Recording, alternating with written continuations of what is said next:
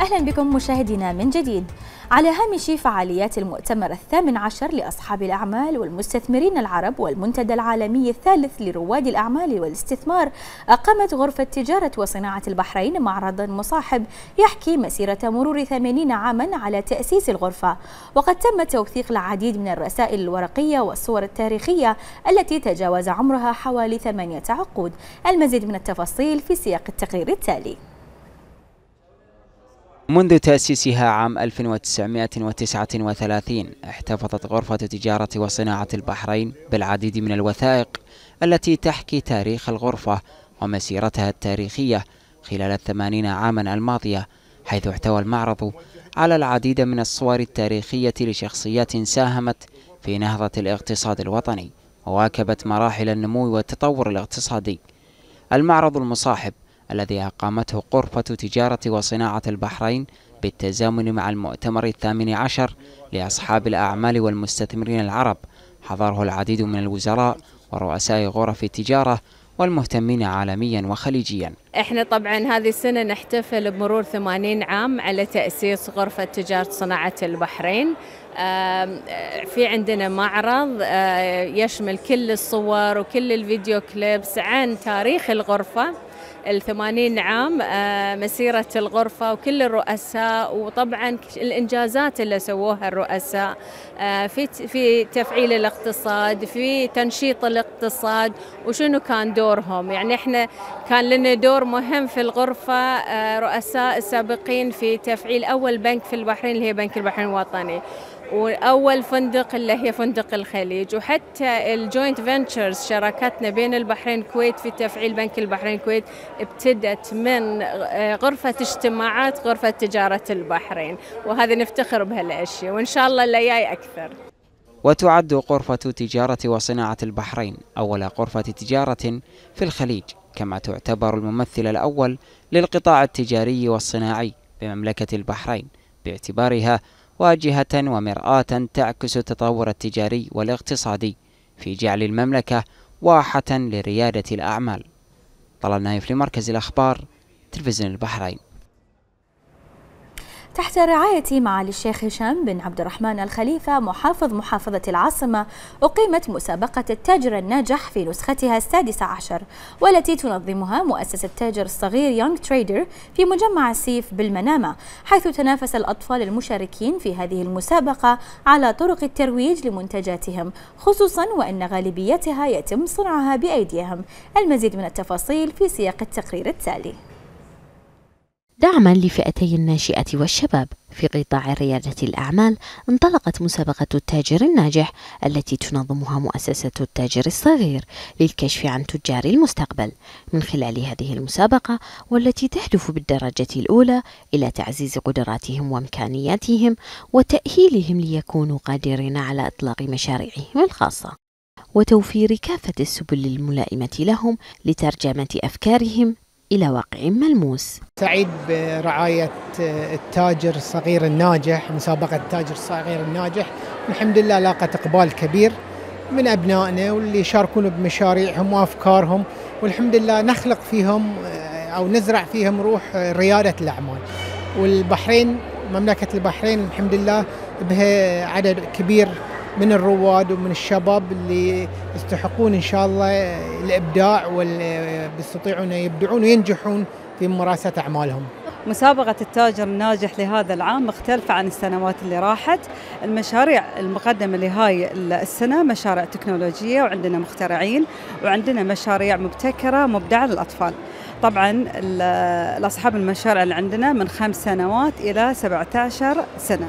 إحنا كحكام إحنا إحنا نسوي علامات على وصائف تاجر ناجح ناخذ الوصفات مالهم حق في المستقبل يصيروا تاجرين زينين. منافسة قوية بين أطفال يتمتعون بمهارات تجارية عالية يحملون بداخلهم طموحا يعانق حدود السماء يبشر بمستقبل واعد للبحرين. مشاركين عشان نسوق مشروعنا هو اسمه ميديكال ماوس ويساعد الأطفال ويشجعهم عشان ياخذون دواهم. هو عبارة عن فأر متحرك بال remote control يقوم بتوصيل الأدوية للأطفال المرضى. هذا هو منتجنا وإحنا هنا شاركنا عشان إحنا كنا بايعين صغار نبيع الأشياء لهم.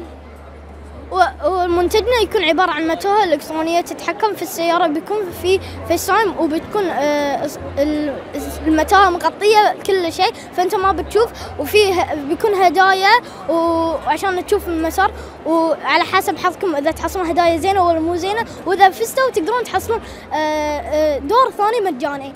وتصلح حق الفئة العمرية من ثلاث سنوات وفوق. مسابقة فريدة من نوعها. ترسم لنا ملامح الجيل القادم في عالم ريادة الأعمال. فمسابقة التاجر الصغير استقطبت في نسختها السادسة عشر. عددا من الأطفال قدموا فيها مشاريع مبتكرة ومنتجات متميزة. صنعت بأيديهم الصغيرة. الإبداع لا يحله عمر وهذا ما أكدته فكرة معرض التاجر الصغير التي جاءت بأفكار مبتكرة مميزة وخلاقة. بأنامل المبدعين الصغار. حول القرينيس لمركز الأخبار تلفزيون البحرين. أعلنت بورصة البحرين عن إدراج الإصدار رقم 19 لسندات التنمية الحكومية التي أصدرها مصرف البحرين المركزي بالنيابة عن حكومة مملكة البحرين حيث سيتم تداولها اعتبارا من يوم الاثنين الموافق الثامن عشر من نوفمبر 2019 ويبلغ حجم الإصدار 185 مليون دينار بحريني بقيمة اسمية قدرها دينار بحريني واحد للسند في حين تبلغ مدة الإصدار خمس سنوات اعتبارا من العاشر من نوفمبر 2019 وحتى العاشر من نوفمبر 2024 وبلغ العائد الثابت 4% سنويا. يتم خلالها دفع فوائد الإصدار كل ستة شهور تستحق في العاشر من نوفمبر والعاشر من مايو من كل عام خلال مدة الإصدار. والآن نترككم مع أسعار صرف الدينار البحريني مقابل العملات الخليجية والعالمية.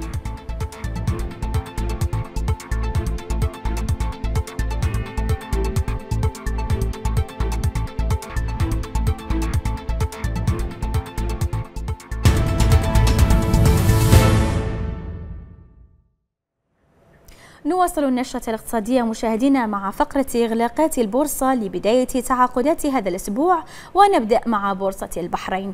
فقد أقفل مؤشر البحرين العام على تراجع نسبته 0.39% مغلق التداولات عند مستوى 1499 نقطة. وذلك عائد لانخفاض مؤشر قطاع البنوك التجارية وقطاع الاستثمار.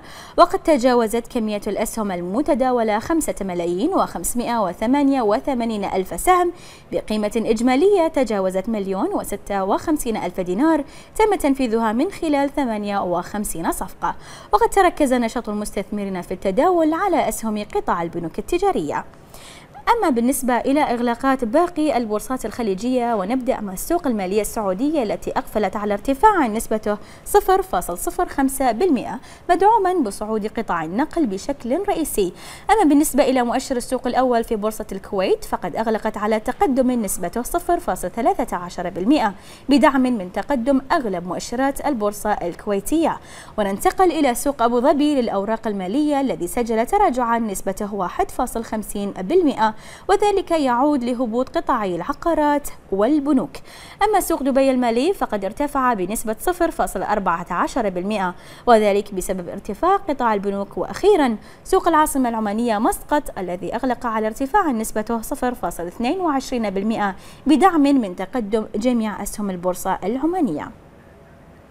انطلقت عملية اكتتاب الأفراد والمؤسسات على حصة في أسهم شركة أرامكو التي تبلغ 1.5% من رأس المال بنطاق سعري يتراوح بين 30 و 32 ريالا للسهم. إليكم أبرز المعلومات عن الطرح التاريخي لأكبر شركة النفط في العالم.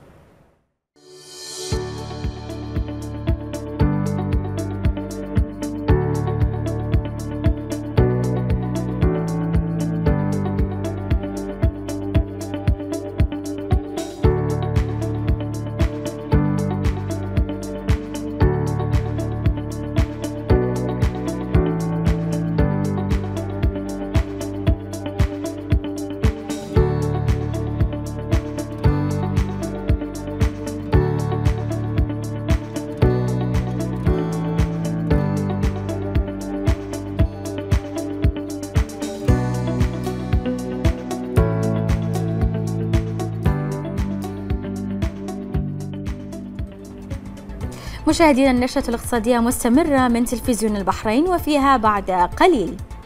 القيمة السوقية لشركة أبل تتجاوز القيمة الإجمالية لقطاع الطاقة الأمريكي.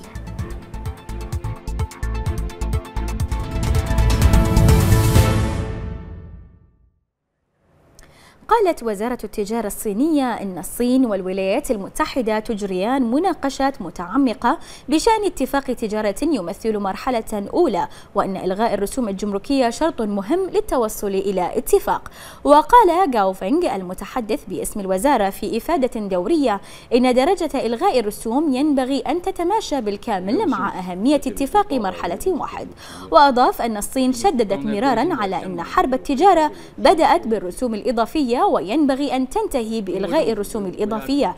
وأكد الرئيس الأمريكي دونالد ترامب في وقت سابق أن اتفاق التجارة مع الصين قريب. نجحت شركة النقل الجوية الأسترالية كانتاس في تنفيذ رحلة تجريبية بدون توقف انطلاقا من لندن وصولا إلى سيدني التي وصلتها بعد أن قطعت الطائرة مسافة 17.75 ألف كيلومتر خلال مدة بلغت 19 ساعة و19 دقيقة. ووصفت كابتن الطائرة هيلين تيرنري الرحلة بأنها كانت ناجحة للغاية. وقالت في تصريحات للصحفيين في مطار سيدني إنهم لم يواجهوا أي مشكلات على الإطلاق وتعد هذه الرحلة ثاني أطول رحلة بحثية تجريها كانتاس في سياق دراسات بحثية من أجل التخفيف من معاناة المسافرين.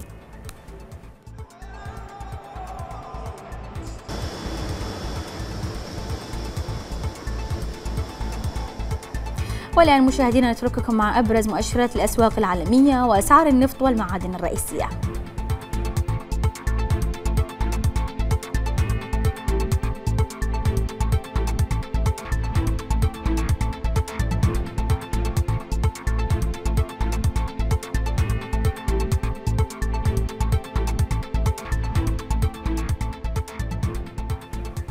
كشفت بيانات مالية حديثة في الولايات المتحدة أن القيمة السوقية لشركة أبل استطاعت أن تتجاوز القيمة الإجمالية لقطاع الطاقة الأمريكي وهو أمر لن تحقق أي شركة تقنية من قبل. وأكد محللون في مصرف بانك أوف أمريكا ميريل لينش أن أبل حققت هذا الرقم بعدما استطاعت في وقت سابق أن تصبح أول شركة في العالم تتخطى قيمتها السوقية تريليون دولار. وأغلقت الشركة العملاقة تداولات الخميس عند قيمة سوقية تقدر ب 1.17 تريليون محافظة على مركزها كأفضل الشركات قيمة في العالم.